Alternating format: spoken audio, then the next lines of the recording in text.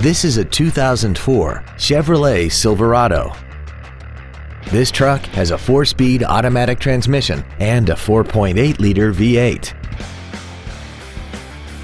Features include a double wishbone independent front suspension, air conditioning, an engine immobilizer theft deterrent system, a passenger side vanity mirror, privacy glass, dusk sensing headlights, an anti-lock braking system, a passenger side airbag, door reinforcement beams, and an auxiliary power outlet.